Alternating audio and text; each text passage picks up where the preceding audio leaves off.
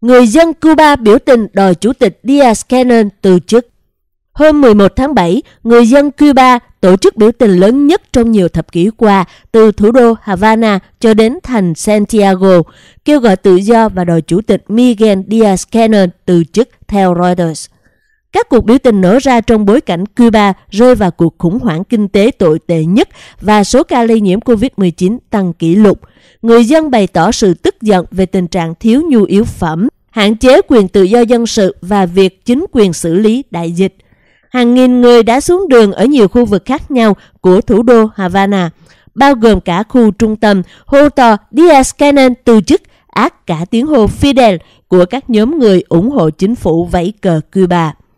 Những chiếc xe Jeep có trang bị súng máy của lực lượng đặc biệt được nhìn thấy khắp thủ đô và sự hiện diện của cảnh sát rất dày đặc, ngay cả khi hầu hết những người biểu tình đã về nhà lúc 9 giờ tối, giờ giới nghiêm do đại dịch.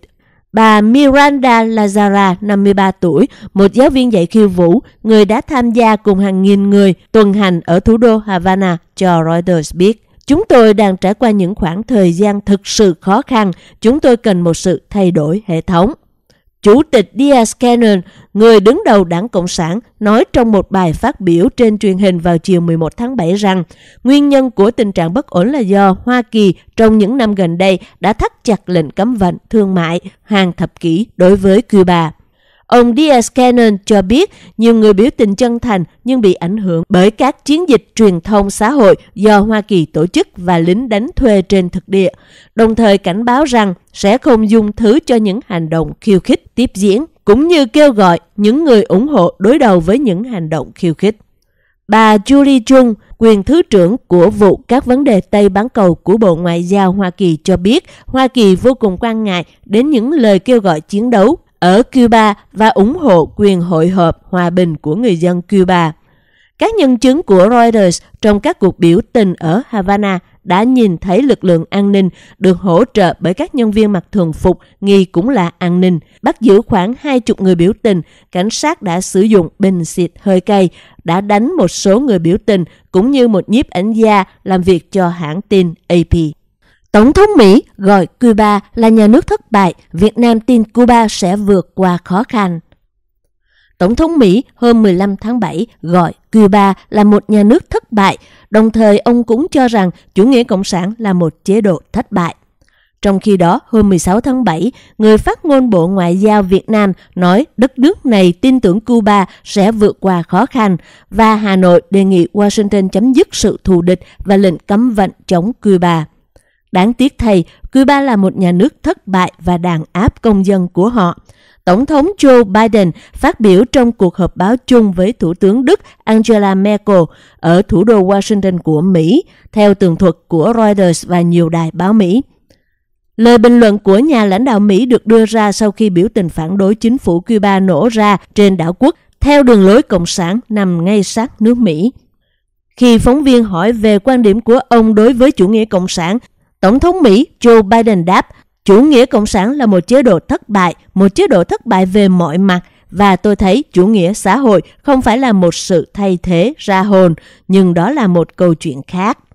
Hàng ngàn người Cuba đổ xuống đường biểu tình trên toàn quốc hôm Chủ nhật 11 tháng 7 vì khan hiếm hàng hóa cơ bản. Các quyền tự do dân sự bị hạn chế và chính phủ lúng túng trong đối phó với đại dịch COVID-19. Làn sóng biểu tình này được xem là chấn động nhất trong hàng thập kỷ qua tại đất nước nằm dưới sự điều hành của những người cộng sản.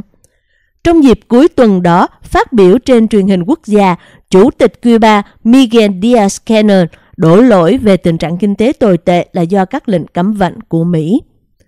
cách Mỹ và Cuba nửa vòng trái đất, một phát ngôn viên của Bộ Ngoại giao Việt Nam hôm 16 tháng 7 gọi các động thái phản đối chính phủ của người dân Cuba hôm 11 tháng 7 là biểu tình gây mất trật tự và nhận xét thêm rằng tình hình đã ổn định trở lại ngay sau đó. Nữ phát ngôn viên Lê Thị Thu Hằng tiếp đến cho biết Việt Nam luôn quan tâm và tin tưởng Cuba sẽ vượt qua các khó khăn kinh tế xã hội hiện nay do đại dịch COVID-19 và hậu quả của bao vây cấm vận. Đại diện của Bộ Ngoại giao Việt Nam kêu gọi Mỹ chấm dứt chính sách thù địch và lệnh cấm vận đơn phương về kinh tế và tài chính chống Cuba.